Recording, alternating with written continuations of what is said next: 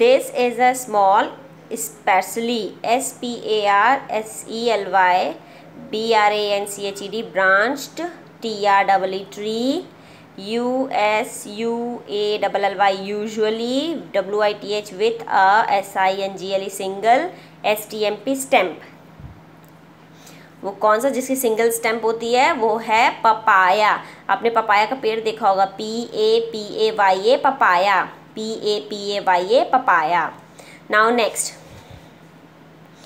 F L O W R flowers of T H I S this T R W tree C N can be green yellow Y E double L O W yellow O R A N G E orange और R E D red in colour जिसके जो फूल होते हैं वो green, yellow, orange और red colour के होते हैं। उसका नाम क्या होता है? ये देखिए, है ना?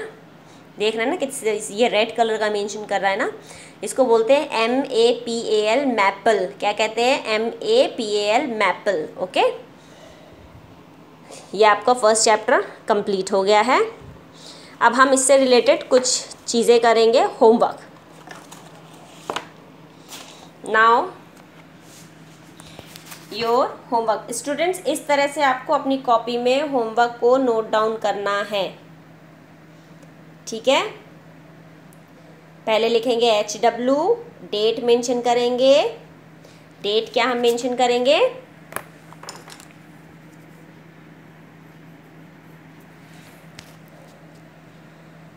Six five two thousand twenty first है five B O D Y body P A R T S parts W R I T E write I N in copy आपको मैम स्कूल से फेयर कॉपी मिली है ना? Copies मिली है ना? नहीं मिली है तो आप मार्केट से परचेज़ करिए। स्टूडेंट इसको स्कूल की कॉपी में ही आपको नोट डाउन करना है, क्योंकि अगर आप स्कूल की कॉपी में करोगे या आपकी क्लास टीचर चेक करेंगी। ये फेयर कॉपी में करना है रफ कॉपी में नहीं करना है, ठीक है? उसके बाद आप ऐसे वन लिखोगे लाइन्स टू लिख के लाइन, थ्री लिख के line, four line, five line, ऐसे करके आपको फाइव लिखने हैं।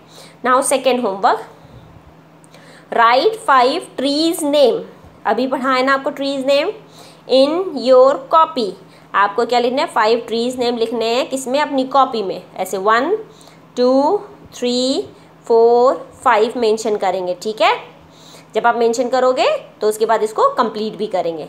आपको जो हमने फाइव ट्री ने नेम लिखवाए ना, ये आपको यहाँ लिखने हैं और विथ लर्न करने हैं okay write five fruits name in your copy आपको five F R U Y T S fruits F R U Y T S fruits N A M E name I N in Y O U I your C O P Y copy आपको five fruits name लिखना है। You के जी में आपकी teacher ने पढ़ाया था ना ये सारे points so it's your responsibility to write it and learn it okay so have a good day आपको घर में रहना है, कहीं बाहर नहीं जाना है. Just be healthy be safe